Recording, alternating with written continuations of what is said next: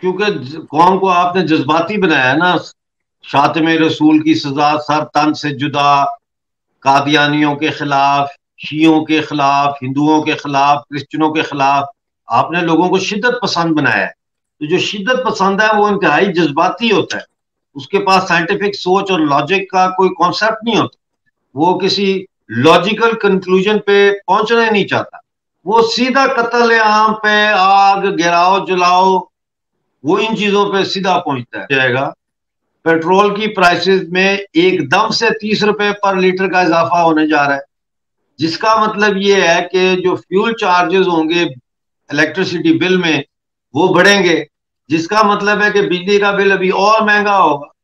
जहाद कश्मीर के लिए जो है वो रिक्रूटमेंट्स करेंगे। तो ये कोशिश इनकी एक तरफ़ रिप्रेशन है और दूसरी तरफ़ जो है वो मज़हब के जुनून को हवा देना ताकि लोग जो है वो मजहबी बुनियादों पे तकसीम हो। और गिलगित बल्तिस्तान में इन्होंने कोशिश की है शिया सुन्नी लड़ाई कराने की। उसका नतीजा ये हुआ है कि शिया जो है लाखों की तादाद में बाहर आए और उन्होंने इनको कहा है कि अगर आप अपने टाउट्स के ज़रिए यहाँ पे कुछ करेंगे तो फिर हमारी मंजिल कारगिल है। कारगिल लद्दाख में है। लद्दाख इंडिया की यूनियन टेरिटरी है। साढ़े चार लाख आदमी पिछले सात महीने में पाकिस्तान से गया है। सारे पढ़े लिखे लोग थे और स्किल्ड वर्कर्स थे। चले गए। अभी और भी जाएँगे। इस वक्त तो देखे, आप ये अलमिया देखें आप, इस चीज़ का अलमिया। हिंदुस्तान और पाकिस्तान को अंग्रेज़ आज़ाद करके चला गया। कहते हैं ना, हमने अंग्रेज़ों से आज़ादी ली है। तो हिंदुस्तान जिसने अंग्रेज़ों से आज़ादी ली वो आज चाँद पे पहुँच गया और अंग्रेज़ हिंदुस्तान आ रहा है। ऐसे माथा टेकने और पूछने के जनाब हमारे साथ भी थोड़ा शेयर करें, क्या टेक्नोलॉजी है, क्या साइंस है, क्या नहीं है, ये है, वो है। आईटी के सारे जो है टैलेंट वो इंडिया से हंट करने के लिए आते हैं। और पाकिस्तान जो है, वो तीस तीस लाख रुपए लेके पाकिस्तानी जो है, वो जिससे आज़ादी ली है, गुलाम से, गुलामी से, उसी आका के वीजे के लिए तीस तीस लाख दे, हाथ में पकड़े फिर रहे हैं कि जी तीस लाख ले लो वीज़ा ला दे। पाकिस्तान का तो गोल है ही कोई नहीं। जिनके गोल होते हैं, वो उस गोल को अचीव करने के लिए प्लानिंग करते हैं पॉलिसी करते हैं। कोई इकोनॉमिक गोल तो है नहीं, क्योंकि आपने कोई इकोनॉमिक मनसूबाबंदी नहीं की। पॉलिटिकल गोल आपके नहीं है, क्योंकि आपने डेमोक्रेसी को स्ट्रेंथन करने के लिए रिलीजन और स्टेट को अलहदा नहीं किया। आप अभी भी कहते हैं कि पाकिस्तान जो है इसका स्टेट रिलीजन इस्लाम है वो कैसे चलेगा? ये एक तरफ़ आप वेस्टर्न डेमोक्रेसी भी ला रहे हैं पार्लियामेंट के ज़रिए दूसरी तरफ़ शरीयत भी ला रहे हैं तो ना वो सही तो ना ये सही। तो आप क्या खिचड़ी पकाई हुई है? ये, ये चीज़ें इसी इसी तरह से सोशल जो है कल्चरल और सोशल गोल्स आपके नहीं है। जैसे जेंडर इक्वालिटी है क्या है? पा, पाकिस्तान की कोई है पॉलिसी जेंडर इक्वालिटी सर ये बिल्कुल वैसा ही है। कान बांग्लादेश जैसे मुल्कों में ढाई रुपए से बिजली का पर यूनिट जा रहा है। वहाँ पे पाकिस्तान के अंदर पचपन के आसपास पहुँच गए। क्या कहेंगे एक तरफ़ बिलों के एहतजाज और चंद्रयान। जब चंद्रयान थ्री चाँद पे गया उसके बाद से पाकिस्तान की आवाम को ज़्यादा अवेयरनेस आ गई है और उनके चौदह तबक रोशन हो गए कि यार हमारे तो कभी बिजली के बिल चाँद पे पहुँच रहे हैं और कभी हमारे जो है ना रेट्स हर चीज़ के और हिंदुस्तान वाकई चाँद पे चला गया, हमारी तो आँखों पे पट्टी बंदी हुई थी पचहत्तर साल से। क्या कहेंगे इन तमाम चीज़ों आप, जी, बहुत शुक्रिया। आपने जो चंद्रयान थ्री की बात की है ना, ये ही बात मैंने आज अपने शो में की है कि चंद्रयान थ्री जो लैंड हुआ है, उसने पाकिस्तान और पीओजेके के अवाम का दिमाग जो है ना, पलटी खा गया। कि ये क्या हो रहा है और हमारे साथ क्या हो रहा है? वो मैंने आपको प्रोग्राम भेजा भी है। आप देखिएगा, उसमें बीच में प्रोग्राम में मैंने ये बात की है तो मुझे बड़ी खुशी हुई है कि आपने चंद्रयान थ्री को, जो पाकिस्तान में एकदम से ये उभार आया है, इसके साथ रिलेट किया है। क्योंकि बात यह है देखें इस वक्त इंडिया में सात रुपए पर यूनिट बिजली है। बांग्लादेश में भी कमोबेश यही रेट पाँच से सात रुपए चलता है। अब इसमें हमारा जो है बिजली पाकिस्तानी ऑक्युपाइड जम्मू कश्मीर, हम जो बिजली पैदा करते हैं, वो बिजली पाकिस्तान हमसे खरीदता है दो से ढाई रुपए पर यूनिट और फिर हमें वो बेचता है up to fifty three rupees per unit और अब उन्होंने और टैक्सेस लगा दिए ऑल टुगेदर मेरे ख्याल तेरह किस्म के टैक्सेस हम पे लगाए हुए हैं। तो चार महीने से रावला कोर्ट में लोगों ने धरना दिया हुआ था। चार महीने से, क्योंकि वो पाकिस्तान में तो रिपोर्ट ही नहीं होता। तो वो धरना दिया हुआ था और फिर ये करते करते ये फैलते फैलते पूरे पीओजेके में फैला। आज पूरा जो आप, जिसको आप आज़ाद कश्मीर कहते हैं, वो पूरा आज बंद था। पूरा शटर डाउन स्ट्राइक और कोई चीज़ भी वहाँ पे आज चल नहीं रही थी, सवाए लोगों के जो जुलूसों में और धरनों में जा रहे और, पाकिस्तान में ज़ाहिर है ये फैल गया। क्योंकि कश्मीर में लोगों ने बिजली के बिल जलाने शुरू कर दिए। आज तो वहाँ गेंती और वो बेलचे लेकर लोग खंबे उखाड़ रहे हैं। खोद रहे हैं उनको उखाड़ रहे हैं कि ले जाओ ये। पाकिस्तान को कह रहे हैं, ले जाओ अपने खंबे और ले जाओ अपनी तारें। तो एक मुकम्मल सिविल डिसोबीडियंस की मूवमेंट वहाँ पे चल रही है, जो अब लग ये रहा है कि वो एक आउटराइट रिबेलियन की सूरत इख्तियार कर सकता है। इतनी टेंशन है वहाँ पे। अब पाकिस्तान में जो बिजली के बिलों का में इंक्रीज है, उसकी बुनियादी वजह तो पावर सेक्टर में जो सर्कुलर डेट है 2100 बिलियन रुपीज़ से भी ज़्यादा का। उसको कैसे कवर किया जाए? तो आईएमएफ ने इनको कहा है कि बिजली के बिलों को इस हद तक बढ़ाया जाए। अभी सुनने में आ रहा है कि सितंबर में जो कल से सितंबर शुरू हो जाएगा पेट्रोल की प्राइसेस में एकदम से तीस रुपए पर लीटर का इजाफा होने जा रहा है।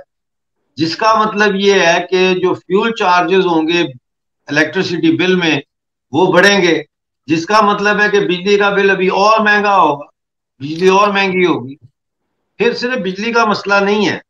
ये अब इन्होंने आज ये कहा है कि जी, हमारा जो अटैची है कमर्शियल अटैची ब्राज़ील की एम्बेसी में, उसके थ्रू इन्होंने ब्राज़ील से नेगोशिएशंस की हैं।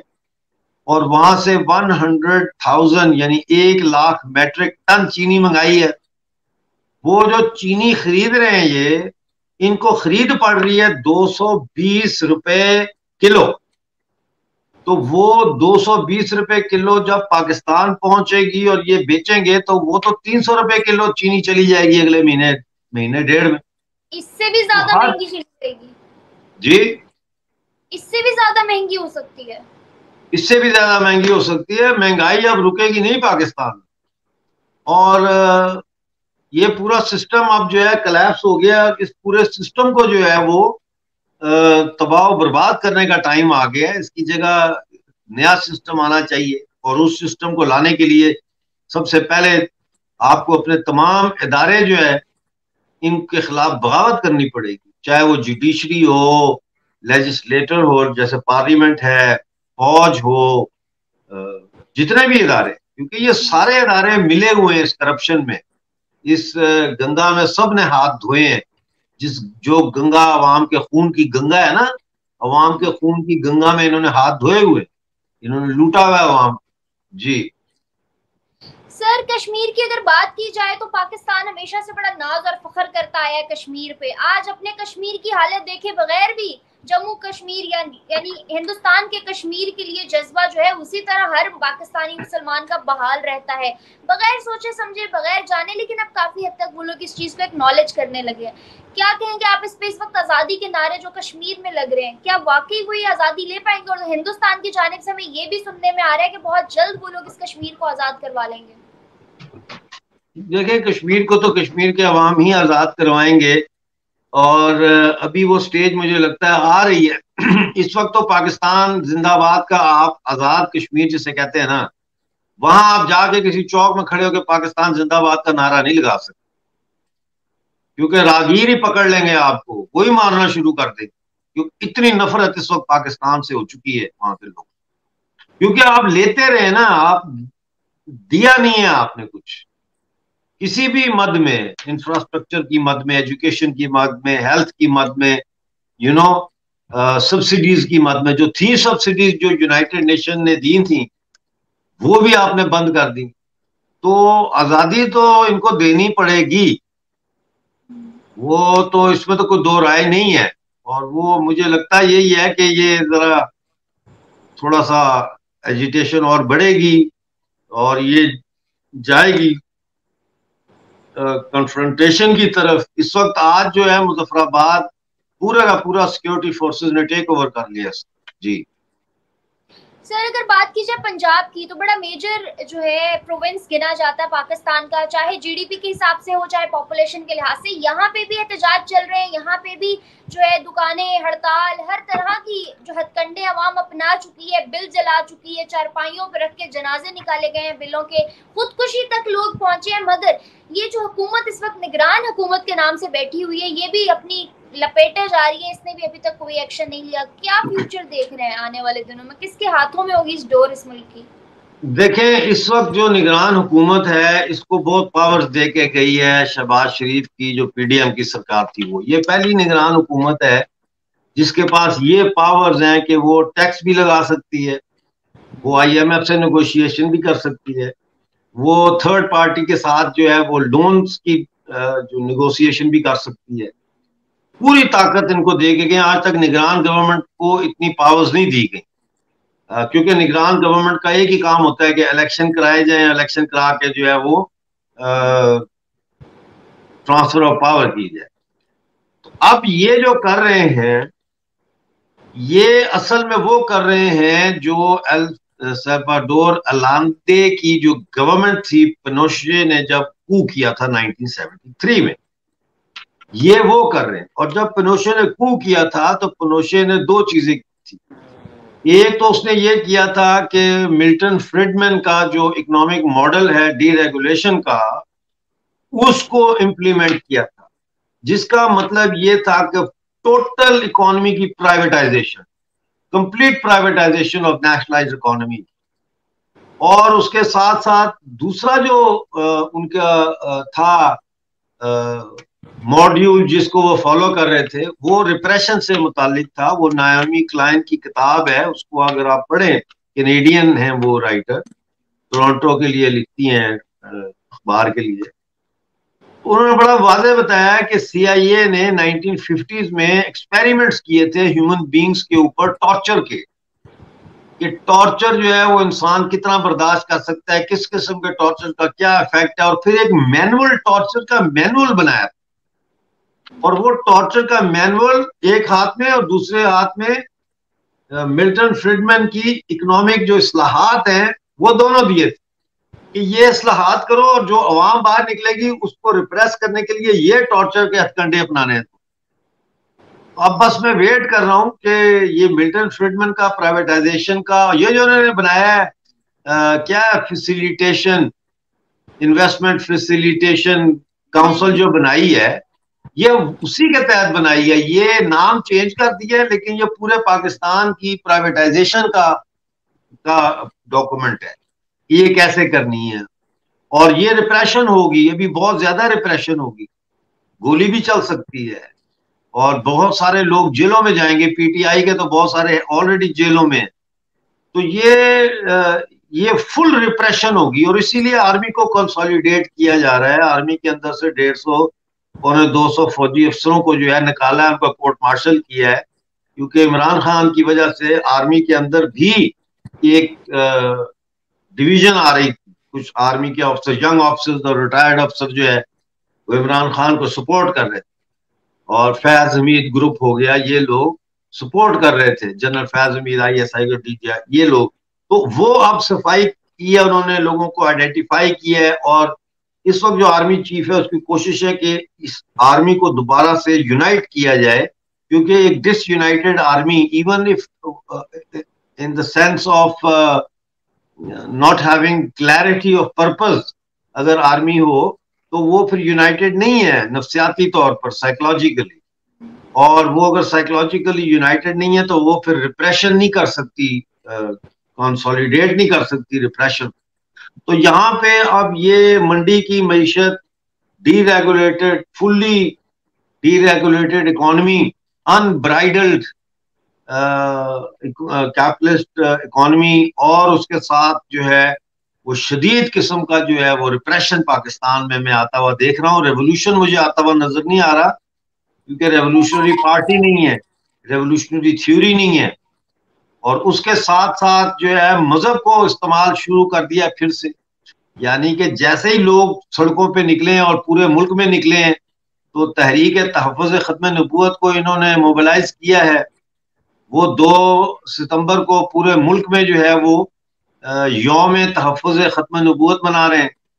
फिर ये है कि दो यकम सितंबर कल से लेके आठ सितंबर तक सो कॉल्ड आज़ाद कश्मीर में पूरा हफ़्ता मना रहे हैं आ, इसका तहफ़ ख़त्म नबूत का।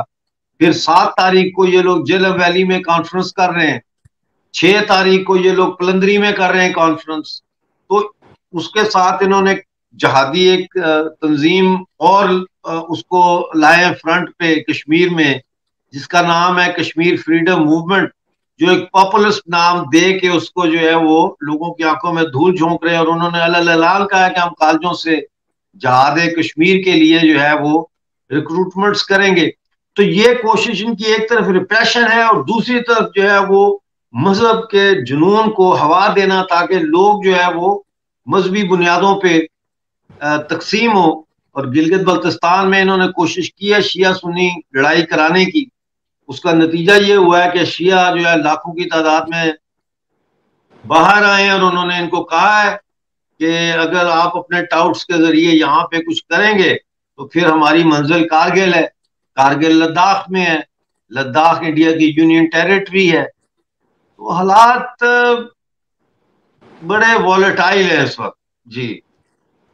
एग्जैक्टली exactly, काफ़ी इन तमाम बातों के बाद तो मैं खुद डर गई हूँ। बहुत नासाज हालात मालूम हो रहे हैं। अच्छा सर एक तरफ़ तो हम लोग हमेशा अपनी पाकिस्तानी अवाम को सिखाते बताते और सुनाते आए हैं। हिंदुस्तान गिर रहा है हमसे गरीब है नीचे जा रहा है कुछ नहीं कर रहा मुसलमानों पर जुल्म हो रहा है। लेकिन अभी चंद्रयान थ्री के फ़ौरन बाद उन्होंने हंड्रेड प्रोजेक्ट्स के लिए 5.89 मिलियन बजट का बजट पास किया। उसके बाद एल वन मिशन उनका पाया तकमील को पहुँचने जा रहा है, दो सितंबर को वो लोग उसकी जो है ना इनाग्रेशन करने जा रहे हैं। इसके अलावा रेलवे पे इतना काम हो रहा है इंफ्रास्ट्रक्चर पे काम हो रहा है, हर दूसरे दिन किसी न किसी चीज़ के लिए बिलियंस ऑफ़ डॉलर्स निकाले जा रहे होते हैं। ये सब चीज़ें देख के अब तो लोगों को सीख जाना चाहिए। अभी भी पब्लिक रिएक्शन में लोग उसी तरह जज्बाती होकर रिएक्ट कर रहे होते हैं और आगे से जवाब दे रहे होते हैं। क्योंकि कौम को आपने जज्बाती बनाया ना शातम रसूल की सजा, सर तन से जुदा, कादियानियों के खिलाफ, शीयों के खिलाफ, हिंदुओं के खिलाफ क्रिश्चनों के खिलाफ आपने लोगों को शिद्दत पसंद बनाया है। तो जो शिद्दत पसंद है, वो इंतहाई जज्बाती होता है। उसके पास साइंटिफिक सोच और लॉजिक का कोई कॉन्सेप्ट नहीं होता। वो किसी लॉजिकल कंक्लूजन पे पहुँचना नहीं चाहता।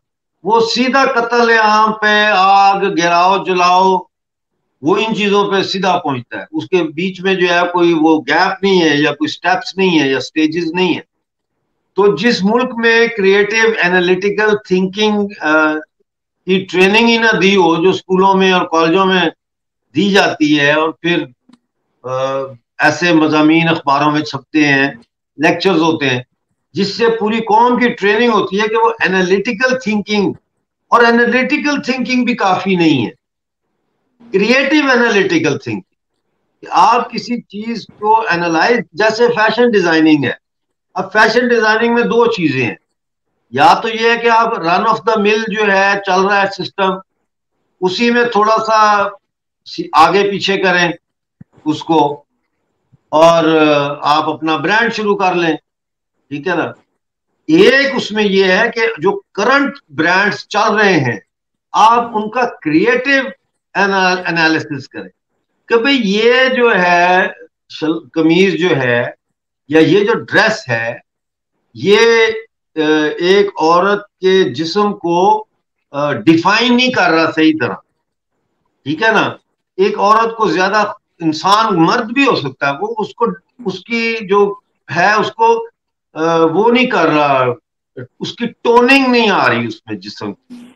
वो एक ऐसी थैला सा शलवार कमीज क्या है? थैला ही है ना एक, सीधा। उसमें तो आप कहेंगे इसमें पीछे प्लीटें डालें तो ये टाइट हो जाएगा कमर से तो कमर का इसमें आएगा एंगल। इसको ऐसे कर लेते हैं। शलवार को ऐसे बनाना चाहिए, पांचा ऐसे होना चाहिए। तो आप क्रिएटिव एनालिटिकल थिंकिंग करेंगी तो आप फ़ैशन में कोई चीज़ नहीं लेके आएँगी जो मार्केट में छूती होगी और लोगों की आई कैचिंग होगी और लोग फिर उसको खरीदेंगे। और फिर यहाँ से आपका ब्रांड जो है उसका नाम ऊपर जाना शुरू होगा। कलर स्कीमिंग क्या होनी चाहिए? सर्दियों में क्या कलर स्कीमिंग होनी चाहिए ड्रेसेस की? गर्मियों के लिए क्या होनी चाहिए? अगर हैट है तो वो हैट कैसा होना चाहिए, जिससे इंसान की पर्सनैलिटी जो है वो इन्हांस हो? ग्लव्स हैं वो मतलब ये चीज़ें फिर क्रिएट क्रिएटिव एनालिसिस होना चाहिए। हमारे यहाँ क्रिएटिव एनालिसिस नहीं है। हमारे यहाँ फंडामेंटलिस्ट एनालिसिस है। अच्छा इसने ये कहा ये काफर है। ये मसला है, और तो कोई मसला ही नहीं है। और वो ये खुद सिखाना नहीं चाहते आपको क्रिएटिव एनालिटिकल जो वे ऑफ़ थिंकिंग है, उससे दूर रखना चाहते हैं। इसीलिए जागीरदारों के गाँव में चले जाए, जागीरदार करोड़पति हैं और वो असम्बलियों में मेंबर हैं कोई वज़ीर खारजा बन जाता है कोई वज़ीर आज़म बन जाता है लेकिन उनके देहात में जाए स्कूल नहीं है। क्योंकि अगर स्कूल होंगे तो फिर मुजाहरे कहाँ से लाएँगे वो? ये exactly. Sir last but not the least ये सारे सिनेरियोज जो आपने बताए, इन सारे सिनेरियोज को हमारा यूथ अब बहुत हद तक बखूबी समझ रहा है। और उसको समझने की बिना पे हर दूसरे बच्चे से आप पूछें तो वो पाकिस्तान छोड़ जाने की बात करते हैं और बहुत से लोग माइग्रेट भी करते हैं, बहुत से लोग पढ़ाई के लिए इवन जिनको कोई और रास्ता नज़र नहीं आता, डंकी लगा के लोग पाकिस्तान से भागना भी चाहते हैं। जिस तरह से रुझान लोगों का फॉरन की तरफ़ बढ़ गया है, मुझे बताएँ फ्यूचर गोल्स क्या होंगे या क्या दिखाई दे रहा? फ्यूचर किसके गोल? पाकिस्तान के। पाकिस्तान का तो गोल है ही कोई नहीं। जिनके गोल होते हैं वो उस गोल को अचीव करने के लिए प्लानिंग करते हैं पॉलिसी करते हैं। कोई इकोनॉमिक गोल तो है नहीं क्योंकि आपने कोई इकोनॉमिक मनसूबाबंदी नहीं की। पॉलिटिकल गोल आपके नहीं है क्योंकि आपने डेमोक्रेसी को स्ट्रेंथन करने के लिए रिलीजन और स्टेट को अलहदा नहीं किया। आप अभी भी कहते हैं कि पाकिस्तान जो है इसका स्टेट रिलीजन इस्लाम है वो कैसे चलेगा? ये एक तरफ़ आप वेस्टर्न डेमोक्रेसी भी ला रहे हैं पार्लियामेंट के ज़रिए दूसरी तरफ़ शरीयत भी ला रहे हैं तो ना वो सही तो ना ये सही। तो आप क्या खिचड़ी पकाई हुई है? ये, ये चीज़ें इसी इसी तरह से सोशल जो है कल्चरल और सोशल गोल्स आपके नहीं है। जैसे जेंडर इक्वालिटी है क्या है? पा, पाकिस्तान की कोई है पॉलिसी जेंडर इक्वालिटी सर ये बिल्कुल वैसा ही है कवा चला हंस की चाल अपनी भी भूल गया। तो बस यही है ना पाकिस्तान में। तो कोई गोल्स नहीं है अभी साढ़े चार लाख आदमी पिछले सात महीने में पाकिस्तान से गया है। सारे पढ़े लिखे लोग थे और स्किल्ड वर्कर्स थे। चले गए अभी और भी जाएँगे।